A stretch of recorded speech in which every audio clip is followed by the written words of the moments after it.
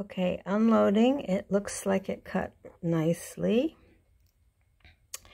And it, um, I did the smart stenciling three times. And yes, after rerun once, that would be the second time.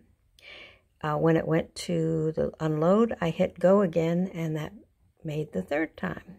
So hang on, I'm going to see if I can pull it off and see how kind of a perfect cut I got. Yes, a perfect cut. I haven't popped all of the little doodads out, but they are cut beautifully. And this will make a fine stencil. I like it a lot. So, smart stenciling, increased the pressure on this one, and ran it three times.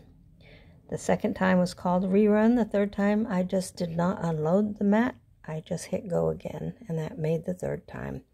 As a reminder to myself when I want to do this again. Very nice.